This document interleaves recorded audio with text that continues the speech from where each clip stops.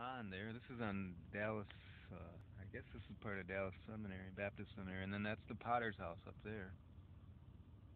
There. But you can't drive up there. I looked at, I, I went through the entrance, past the entrance, and they, it's all closed off with a security guard there.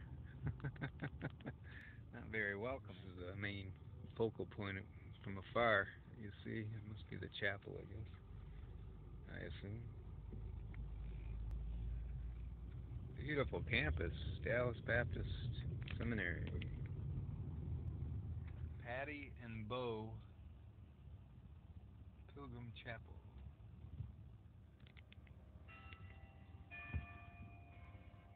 Incredible campus.